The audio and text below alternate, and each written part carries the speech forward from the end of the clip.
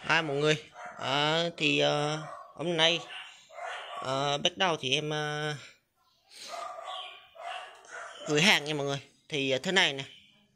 À, mấy cái kiện mà mọi người mua nhiều máy á à, thì nhiều máy ấy, kiện nó to á thì em chưa gửi được. Có thể em sẽ phân ra nhiều kiện. Tại vì à, bây giờ nó chỉ nhận dưới từ 10 kg trở lại thôi mọi người ha nó mới làm lại nó nó nhận có 10 kg trở lại thôi. Thì em sẽ có thể em sẽ chia nhỏ ra kiện hàng ra để em gửi cho mọi người nha. Thì mọi người nhận được cái kiện nào thì mọi người cứ nhận nha.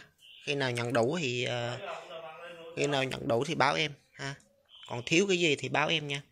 Chứ tại vì mình phải tranh thủ là khi mà gửi được thì mình gửi thôi ha.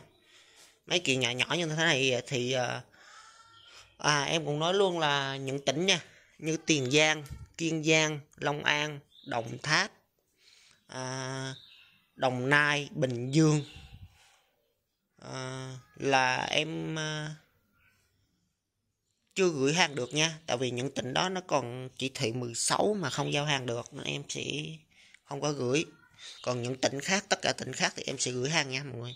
Ha.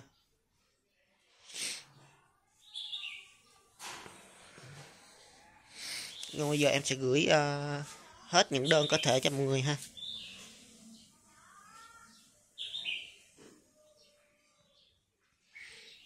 À, những tỉnh khác thì bây giờ em bán hàng và gửi bình thường lại nha mọi người ha.